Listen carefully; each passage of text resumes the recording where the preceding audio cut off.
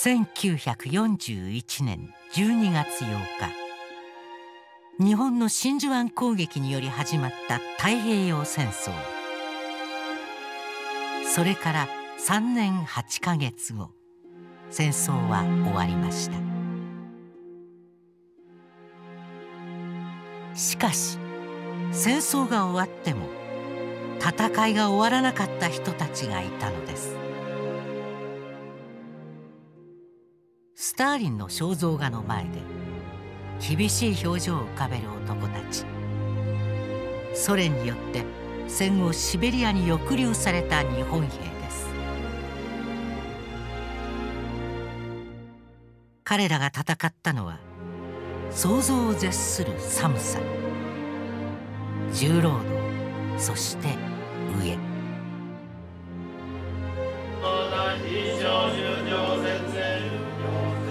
亡くなった戦友たちを思い続けた男性。極限のシベリア。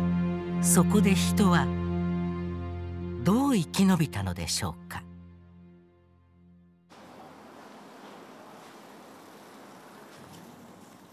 都内に住む中島豊さん93歳です。3年にわたりシベリアに抑留されました。17歳で軍隊に召集され満州今の中国東北部に渡った中島さん。1945年8月9日戦争が終わる直前になってソ連が突然参戦。国境を越え攻めてきました。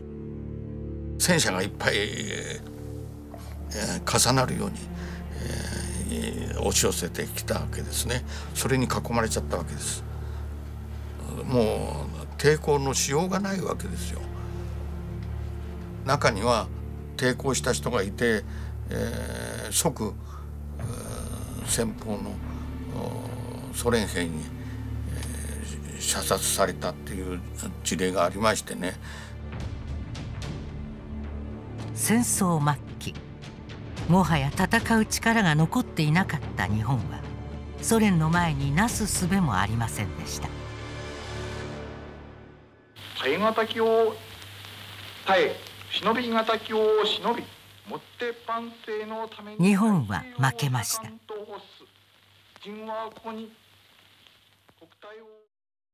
降伏した中島さんたちはソ連兵によって武装解除され鉄道に乗せられました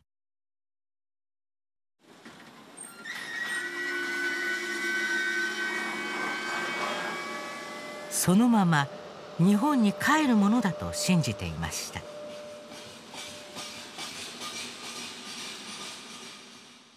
ソ連兵がねヤポンスキー、えー、ダモイ、えー、東京原署っていうようなことを言っててそれでもう99%は日本に帰れると思ってたんですよ。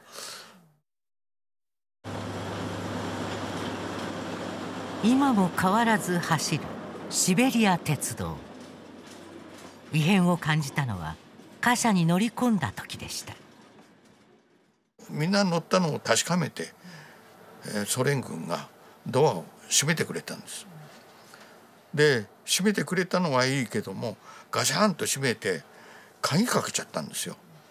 おかしいな鍵までかけるかよってみんなで話し合ったんですがもう日本に帰れるっていう気持ちがあるもんですからそれほど問題にならなかったんですね。しかし。外ばっかり見てた人がね「いや俺さっきからずっと見てるんだけども北へ向かってる」っていう列車が。あそれで騙されたってことが分かったんですね。行き先もわからないまま列車に揺られること16日間移動中話題は日本のことそして食べ物のことばかりだったといいますもう話すことは決まってましてね食べるものとかねそれから故郷の話とねもうそれだけなんですよ。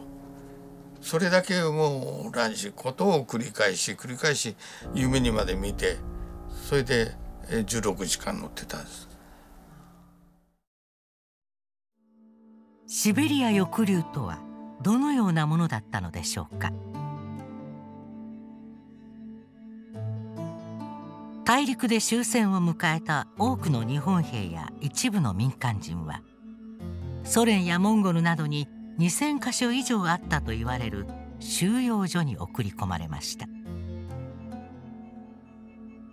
そこで木の伐採や鉄道建設などを強制されたのです。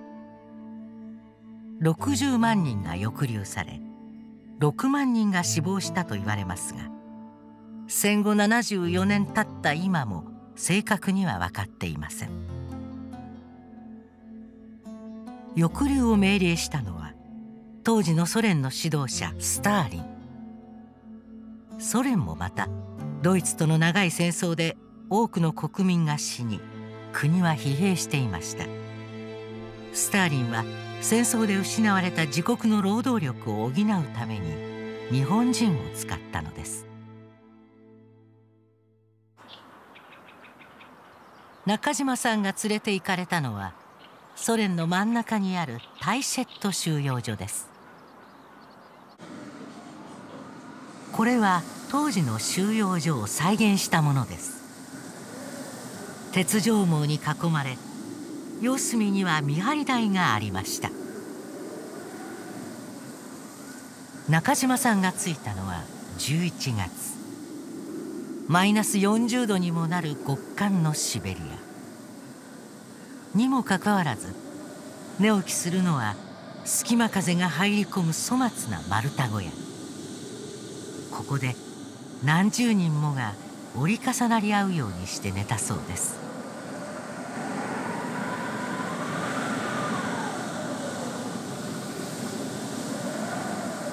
暖房は薪ストーブがたった一つだけ。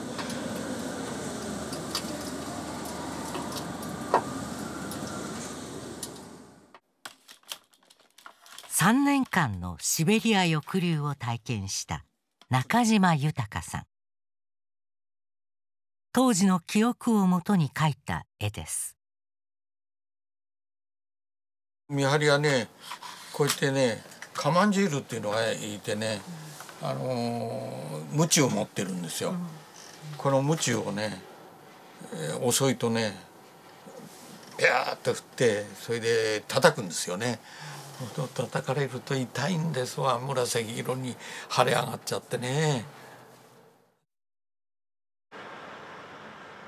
極寒の中での伐採作業。しかし何よりも中島さんを苦しめたのは飢えでした。中身はね、えー、雑穀です。あの冷えとかコーリャンとか制約機がないもんですから、うん、あほとんどね殻付きのままなんですよ。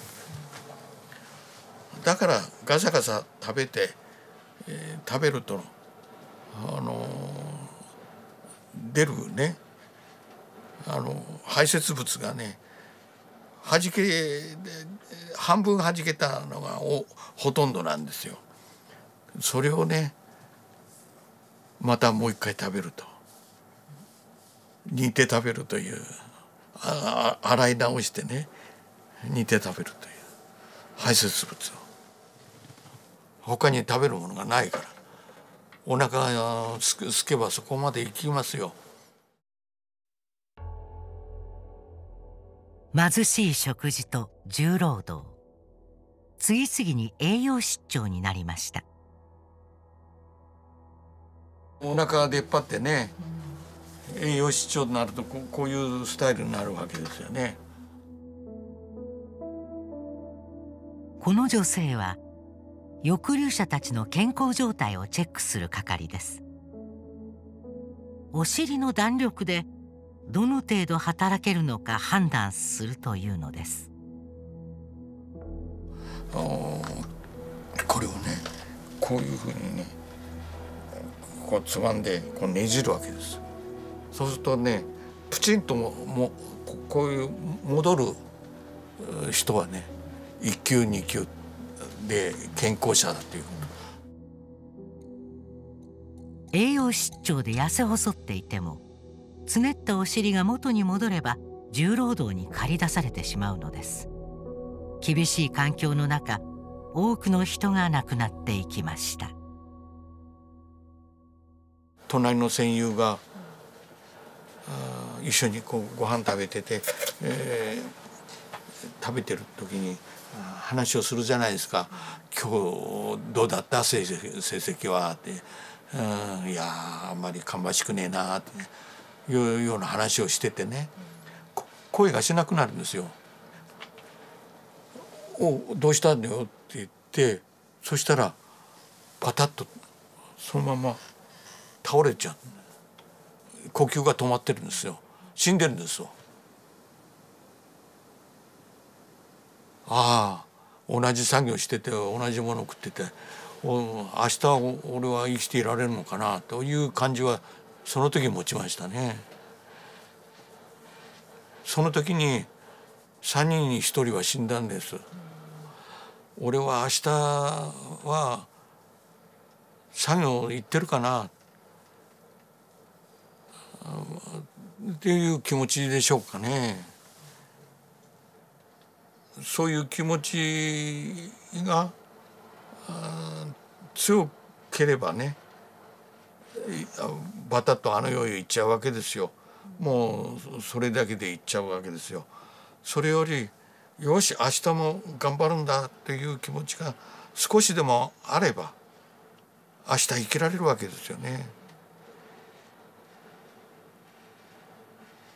だから自分のうんちも食べるし動物やあの昆虫やそれから草や食べるもの手当たり次第みんな口に入るものは食べるわけですよね。亡くなった後も平穏は訪れませんでしたこういうふうにやったのはあ一晩だけだったですね。あの次から次から皆さん亡くなるでしょう、うん、そうするとね亡くなった人はすっぱだかにするんですよ。それどうしてですか？あのもったいないから服を着せたまま埋めるわけにいかないですっぱだかにして埋めるわけだから、あ上着を取るでしょズボンを取るでしょそれを奪い合いになっちゃうわけですよ。その死んだ人にね失礼だとかそんな気持ちは全然なくなっちゃいますね。人間として感覚的にはあ全く人間らしさはなくなくなっちゃうんじゃないですか。極限の生活中島さんを支えたのは一つの思いでした俺は負けないぞ絶対に生きて帰るぞっていう気持ちがずっと持ってたっていうことじゃないですかね。俺はこんなことじゃ死死ねないなと。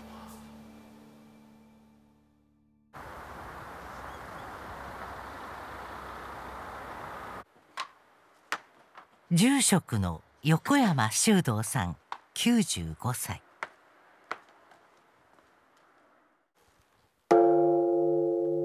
横山さんもまたシベリア抑留の体験者です戦争末期戦況が厳しくなるにつれ僧侶だった横山さんにも召集令状が届きます。えー、満水行ってお寺やることも兵隊に行くことももうあの天皇陛下のためあるいは東洋陛下のためとかあのそういうことでねお坊さんだからといってあの自分だけあの平和なっていうかあの楽なことをやる。そんなつもりはなかったね。ええ。満州で敗戦を迎えソ連の収容所に送られます。ここでも次々と仲間が亡くなっていきました。せめてもの弔いに横山さんはお経をあげ続けました、まあ、夜はふでお通夜のようにみんな寄ってきて、少しの時間お勤めも、まあ、私がしてそれから日本のように線香とかなんか人口そういうものないから、まあ、少々のタバコがあるもんで、ね、タバコを、まあ、コードに燃やしてねお別れするとなそんなことですよね。えーまあ、何しろ、えー、みんながその、えー、いつ自分に来るかという気があるもんでね、えー、気の毒な葬式ばっかりでした。えー2年で帰国した横山さん。教師として教壇に立ちましたがシベリア抑留の体験について話すことはありませんでした。しばらくすると変化が訪れます。向こうの夢をねよう見たんですよ。もう夜中にねロシア語で喧嘩してる そんな夢をね見るくらいだった、え。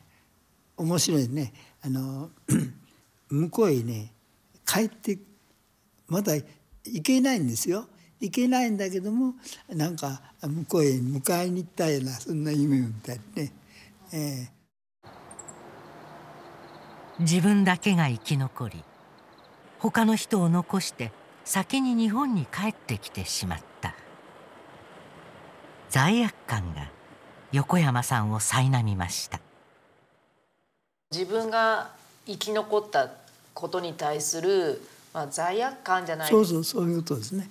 えー、なんかあのあのそういう悪いことしたんではないんだけどもそういう気がねするわけですよね。えー、1983年横山さんは抑留者のお墓参りを始めます。58歳でした。ようやく夢を見ることがなくなりました。声ねお参りして、えー、お墓に立つとなんか暗記になるんですよね。少しでもこう近くに来たということでね、えー、あの気持ちがね安らぐわけで、えー、何しろ友達は22か3で死んでるんだという気がだいぶ自分にはあるわけよね。ええ、一番あのあの心に残るのはあの抑留の生活だもんね。しかし追悼の旅を重ねるうち横山さんはある事実を突きつけられることになります。人体前年消防崩壊人道崩壊天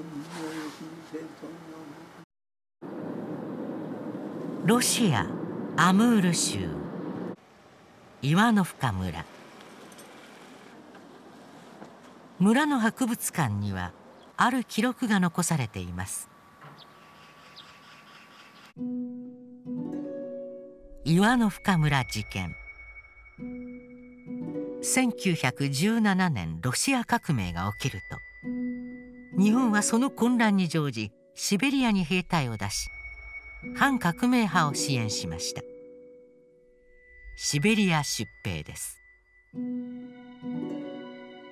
この時日本は岩の深村で日本軍に抵抗する軍隊を掃討すると称して村人たちを殺害したのです。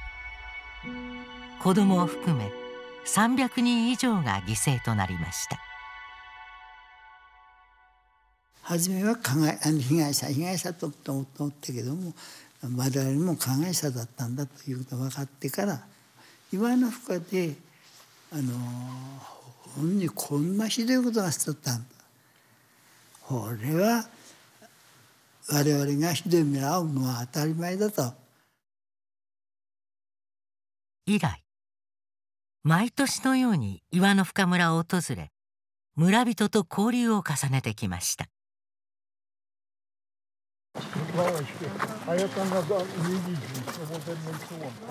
岩の深村の元村長ゲオルギー・ウス氏。横山さんと同じ95歳です。村長として長年横山さんと交流を重ねてきました。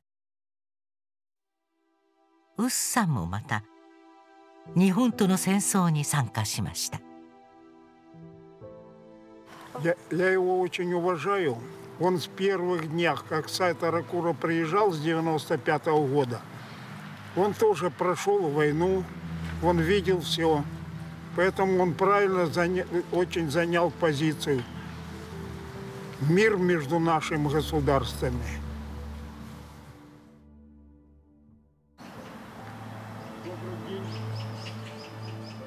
村の中心にある公園には横山さんたちが建てた記念碑が立っています岩の深村事件を記念したものです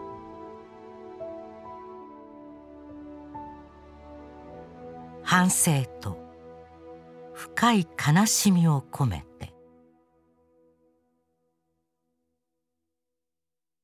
Это еще раз подсказало, что нам надо жить дружно в мире.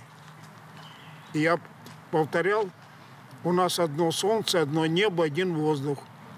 В гости друг к другу ездить, чай пить, общаться. Вот это главный вопрос. Я единственно скажу, берегите мир и берегите планету. Нужно. И историю никогда нельзя забывать. О ней надо помнить, потому что она писана кровью.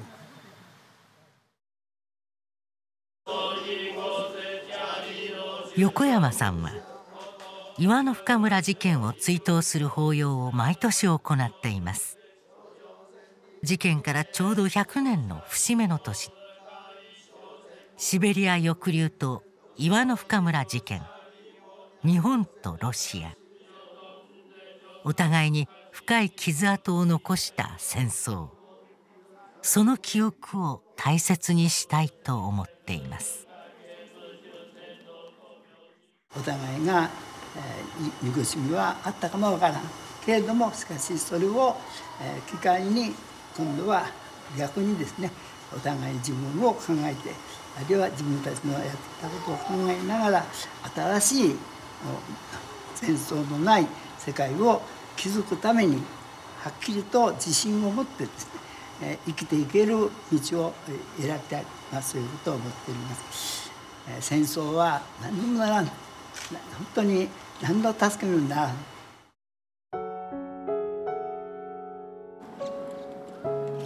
千鳥ヶ淵にある戦没者墓園には毎年シベリアや南方で見つかったものの身元がわからない遺骨を納骨する式典が開かれます。